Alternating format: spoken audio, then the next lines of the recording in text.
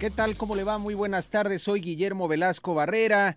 Bienvenido a la tercera emisión de Zona 3 Noticias en esta tarde de miércoles, miércoles 22 de marzo del 2017. Es un gusto, es un gusto saludarle como cada tarde, escucharle, recibir sus puntos de vista, también sus denuncias, sus reclamos. Este espacio es de ida y vuelta, ya lo sabe usted. En esta primera hora las noticias, la información y a partir de las 19 horas el análisis. Usted puede seguir esta transmisión a través de nuestra página web www.zona3.mx y mantener este diálogo abierto a través del 3318 80 76 41, nuestra vía eh, de WhatsApp y también a través de Twitter, arroba zona 3 noticias, arroba G Velasco mi cuenta personal, desde luego a sus órdenes. Vamos un resumen de lo más importante esta tarde. Zona 3, el resumen. La discusión de la iniciativa Sin voto no hay dinero para reducir los recursos a los partidos políticos llegó a la Comisión de Puntos Constitucionales de la Cámara de Diputados con un pronóstico reservado debido a que no tiene seguros los votos para que se apruebe, afirmó el coordinador de la fracción del partido, Movimiento Ciudadano, Ismael del Toro. El Congreso del Estado fue notificado de una suspensión concedida al magistrado del Tribunal Administrativo Alberto Barba Gómez, quien promovió un amparo contra los procesos de juicio político que se abrieron en su contra en el Poder Legislativo. Con observaciones a las iniciativas presentadas sobre el tema, se realizó en el Congreso la Mesa de Análisis, Justicia Constitucional y Anticorrupción. La diputada Mónica Almeida argumentó que la decisión de alargar los plazos para la aprobación del sistema estatal en la materia permitirá empatarla con la reforma al Poder Judicial y tener más tiempo para analizar las iniciativas. Y este miércoles inició operaciones el escuadrón anfibio en el lago Chapala, en el lago de Chapala y se buscará que se capaciten a 12 elementos más, adelantó el fiscal general Eduardo Almaguer, en torno a la agresión registrada la noche de este martes en contra de un policía vial en la zona de Periférico Sur y Colón. Almaguer Ramírez afirmó que se realizan las investigaciones y se busca al causante.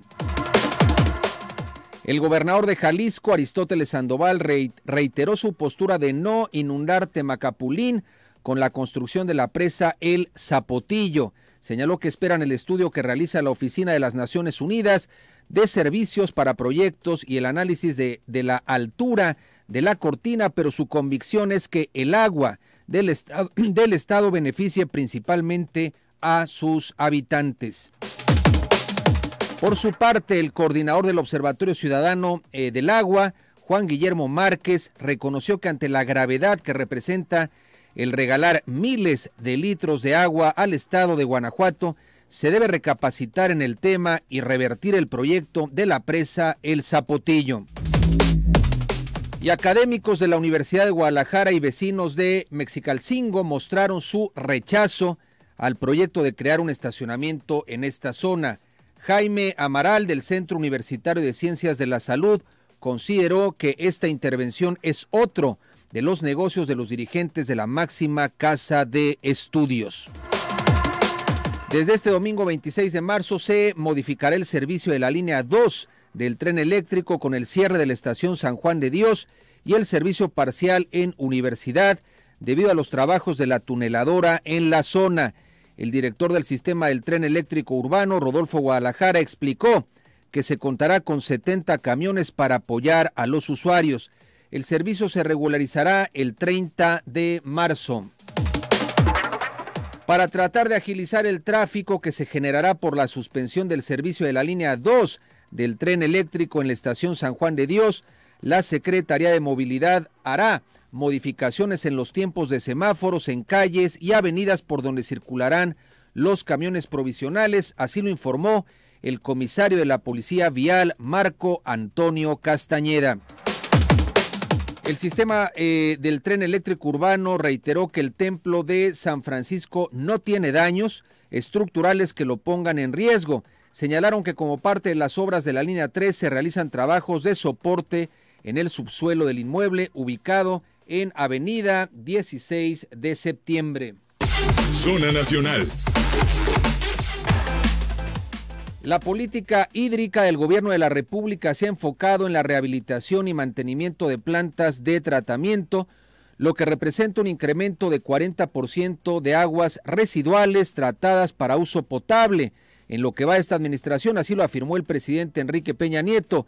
Agregó que además se han reutilizado, se ha reutilizado un 25% de este líquido respecto a lo que anteriormente se utilizaba. Escuchemos al presidente Peña Nieto. El lograr este, este objetivo, el lograr esta mejora del 25%, significaría o traducido a abastecimiento de agua potable, que es una forma de medirlo, es llevarle agua potable a 36 millones de personas. Y este miércoles inició la toma de muestras biológicas de los restos humanos encontrados en el municipio de Alvarado, Veracruz, para trabajar en su identificación.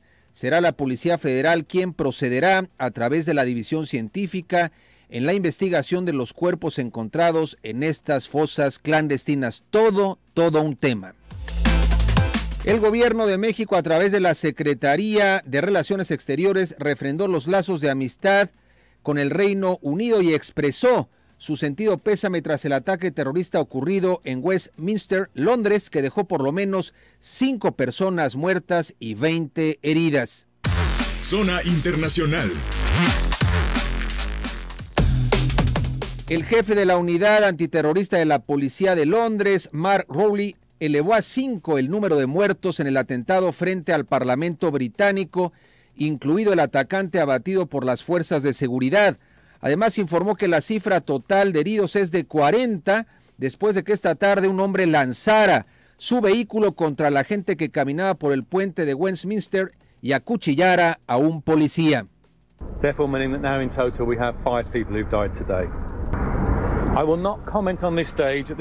Tuvimos cinco muertos el día de hoy. No comentaré en estos momentos más sobre el atacante, pero nuestra presunción es que fue inspirado en el terrorismo internacional. También creemos que 40 personas tienen heridas serias, incluyendo agentes de la policía. Nuestra investigación continúa.